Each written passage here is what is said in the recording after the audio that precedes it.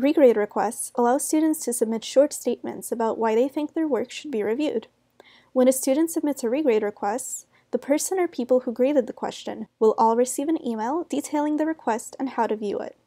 So right now, we're on the course dashboard, and we can see under things to do here that there are two outstanding regrade requests on this assignment. We can also see that there are two outstanding regrade requests in the regrades column here, under active assignments. And we can actually click into the assignment and click on regrade requests here to go to that page as well.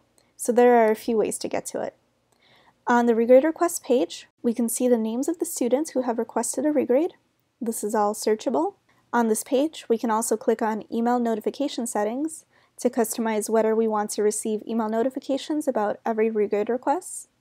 And we can click on regrade request settings to disable regrade requests or to set a time window during which requests are accepted for this assignment. Here are the two pending regrade requests for this assignment. We can see for which question the student submitted a regrade request. We can see who originally graded the submission. We can also see if the request is completed or not. And lastly, we can review the request itself. So if we click Review, we'll be taken to the student submission for the question. We can view the request and review the grading for the submission. In this case, the student had the correct answer but was marked wrong. So to fix that, all we have to do is uncheck this rubric item and check the correct rubric item or items. Finally, we can personalize the response to the student.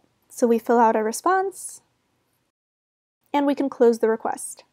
So when we close the request, the student will get an email detailing the response, and the student can view their changed grade on Gradescope by clicking on a link in the email or by going to the regrade request page on their account. So we can see that this regrade request was successfully closed and that Hilda got the email. And we're done.